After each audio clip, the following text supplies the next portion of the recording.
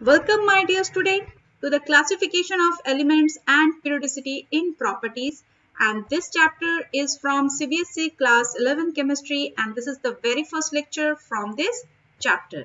तो देख लेते हैं आज के इस चैप्टर में हम क्या क्या पढ़ने वाले हैं तो objectives are classification of elements but why history of modern periodic table तो पहले क्वेश्चन के आंसर को जरा ढूँढने की कोशिश करते हैं with this picture see This picture is showing a place where books are kept randomly everywhere.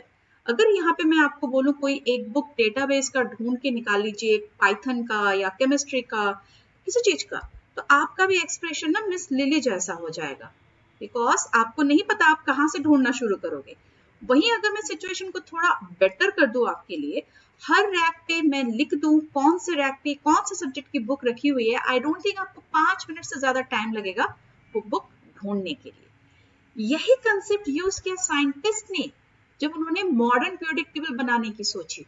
Reason कि उस टाइम पे काफ़ी सारे day by day elements discover हो रहे थे। इतने सारे एलिमेंट्स का इंफॉर्मेशन एक जगह ऑर्गेनाइज करना मुश्किल होता जा रहा था। तो क्यों ना, उनके दिमाग में एक सवाल आया, क्यों ना ये जो नए नए एलिमेंट्स आ रहे हैं, इनकी किसी प्रॉपर्टीज़ का हम ट्रेंड निकाले और उस ट्रेंड के हिसाब से इनको हम एक ग्रुप में डालें।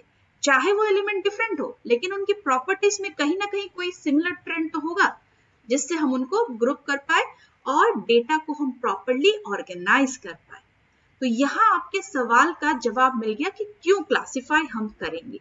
पहला था Due to discovery of different element, it was difficult to organize the information related to this element. हर रोज नए नए एलिमेंट डिस्कवर हो रहे थे। हर रोज नए एलिमेंट के लिए नया डेटाबेस बनाना पड़ रहा था। नया नए तरीके से उनको ऑर्गेनाइज करना पड़ रहा था। फिर दूसरा पॉइंट कि साइंटिस्ट को लगा कि हमें कोई एक पैटर्न ढूंढना पड़ेगा इन डिफरेंट एलिमेंट्स के प्रॉपर्टीज़ में ताकि इनको हम ग्रुप कर पाए। और यहीं से आइडिया आया कि एलिमेंट्स को हमें क्लासिफाई करना चाहिए। और यहीं से हमारी जर्नी भी शुरू होती है इस मॉडर्न पीरियडिक टेबल की। शुरू में हमारा क्लासिफिकेशन कुछ ऐसा नहीं था। तो अब हम चलेंगे हिस्ट्री में। कैसे स्टार्टिंग हुई, कैसे क्लासिफिकेशन का पहला स्टेप या फिर पहला स्टोन लाई किया गया। और आज हम जिसको पढ़ रहे हैं, यहाँ तक ये रास्ता हमको लेके आया। तो देखिए first attempt to classify the elements जो पहला अटेम्प्ट किया था in 1789 by mister Antonio Lavoisier ये एक जर्मन केमिस्ट थे। जरा इनको दर्शन कर लीजिए आप। He was very achievable great personality इन्होंने काफ़ी सारे दूसरे लॉज भी दिए हैं। इन्होंने क्या किया? एलिमेंट्स को या फिर जो डिस्कवर हो रहे थे, उनको कुछ क्राइटेरिया में उनको क्लासिफाई किया। जैसे एक क्राइटेरिया रखा गैसेस का नॉन मेटल्स का मेटल्स का एंड अर्थ्स का। इस हिसाब से उन्होंने क्लासिफाई कर दिया। First way but this is not the very scientific approach तो पहला साइंटिफिक अप्रोच किसने किया?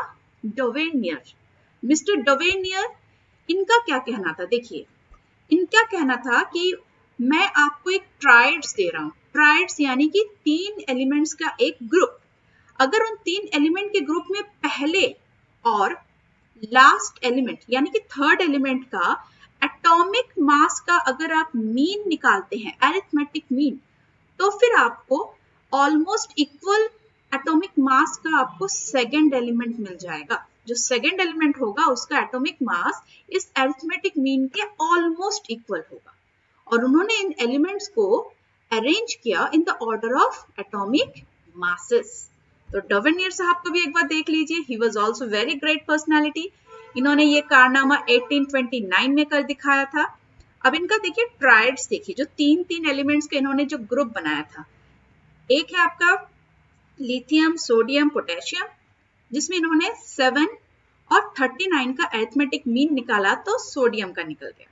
इसी तरीके से दूसरा ट्राइड था उनका क्लोरीन ब्रोमीन आयोडीन और तीसरा ट्राइड था उनका कैल्शियम स्टॉन्शियम एंड बेरियम तो ये बहुत बड़ी अचीवमेंट थी। पहली बार एक साइंटिफिक वे से एलिमेंट्स को क्लासिफाई किया गया, लेकिन ये फेल हो गए फेल कहना गलत बात होगा, क्योंकि डिस्कवरी ऐसे ही होती है this is not the failure I will say यहाँ पे कुछ कमियाँ रह गई। कमियाँ यह थी कि इनके टाइम पे ऑलमोस्ट 33 एलिमेंट्स की डिस्कवरी हो चुकी थी।